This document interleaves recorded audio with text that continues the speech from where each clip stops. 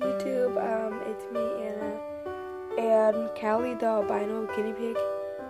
Um, she passed away a long time ago, so like three months ago, four months ago.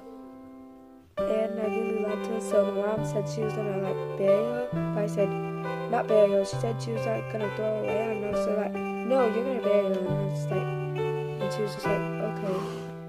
And we were saying goodbye to her.